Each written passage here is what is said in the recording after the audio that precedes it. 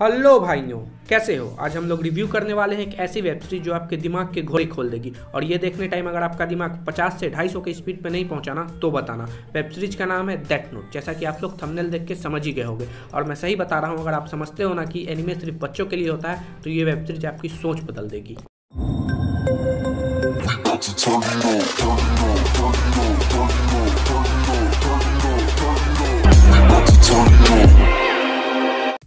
तो कहानी शुरू होती है लाइट यागामी नाम के लड़के के साथ, जो कि एक हाई स्कूल का स्टूडेंट है। उसे एक ऐसी बुक मिलती है जिसमें अगर किसी का नाम लिखा जाए तो 40 सेकंड्स के अंदर उसकी मौत हो जाएगी, जिसका भी नाम उस बुक में लिखा गया है। आप एक मिनट रुको और सोचो, अगर ये बुक आपको मिले तो आप इसका यूज़ कैसे करोगे?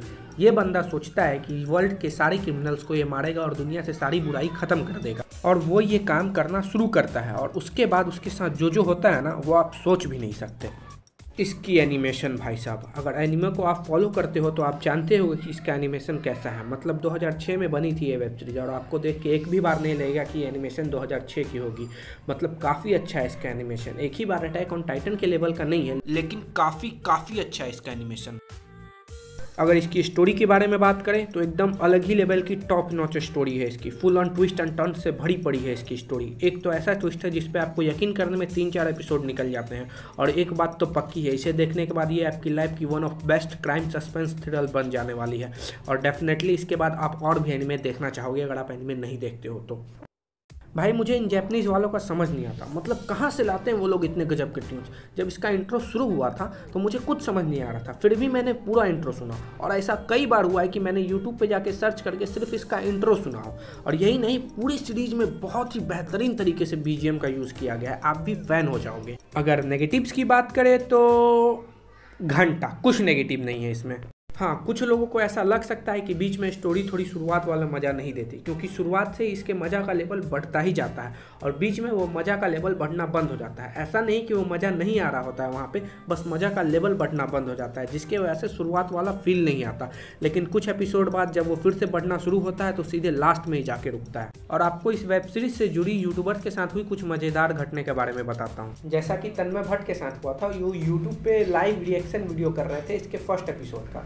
और उन्हें कई लोगों ने सुपर चैट भी किया था कि भाई तू ऐसा कर रहा है, तेरे चैनल पे स्ट्राइक आ जाएगा। और कुछ समय बाद ऐसा ही हुआ, उनके चैनल पे स्ट्राइक आ जाता है। लेकिन अब भी वो वीडियो नेटफ्लिक्स इंडिया के चैनल पे अवेलेबल है। तो आप रहो ना कि और आशीष चांचलाई ने भी कुछ समय पहले एक पोस्ट किया था जिसमें वो इस वेब सीरीज़ के बारे में बता रहे थे कि वो इसे फॉलो कर रहे हैं। और उस पोस्ट के नीचे किसी ने कमेंट किया था कि, भाई कार्टून तो आशीष चांचलानी ने उसे एक बहुत ही प्यारा सा रिप्लाई किया था कि, भाई, आप लोग के वजह से ही एनिमे पीछे हो जा रहा है, जबकि वो इतना अच्छा कॉन्टेंट रखता है। ऐसा ही कुछ रिप्लाई किया था उन्होंने।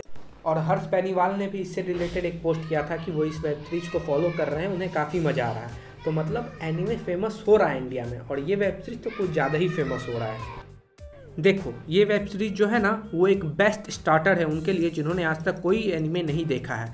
मतलब ये देखने के बाद वो आपको ढूंढते हुए आएँगे कि भाई और एनिमे बता दें। और जो एनिमे देखते हैं, उन्होंने अगर ये वेब सीरीज़ अभी तक नहीं देखा है तो आप लोग बहुत ही बहुत ही बहुत ही ज़्यादा बेहतरीन एक्सपीरियंस को मिस कर रहे हो। और अगर आपको अभी तक मेरे व्यूज़ नहीं समझ में आए हैं तो क्लियरली बोल देता हूँ कि आपको ये वेब सीरीज़ एक बार तो देखनी ही चाहिए। और अगर आपने एक बार इसे देख ली तो आप दोबारा भी देख ही लोगे। भले ही अपने फ्रेंड को दिखाते टाइम या रूममेट को दिखाते टाइम दोबारा किसी ना किसी तरह तो देख ही लोगे, क्योंकि ये वेब सीरीज़ ऐसी है ना, जिसे देखने के बाद आप इसे बिना रिकमेंड किए रह ही नहीं पाओगे। और आप एकदम अगर हेटर हो एनिमे के, आपको लगता है ये तो कार्टून है, बच्चों वाली चीज़ है तो मेरी एक हम्बल रिक्वेस्ट है, भाई की बात मानो, तीन से चार एपिसोड इसके देख लो।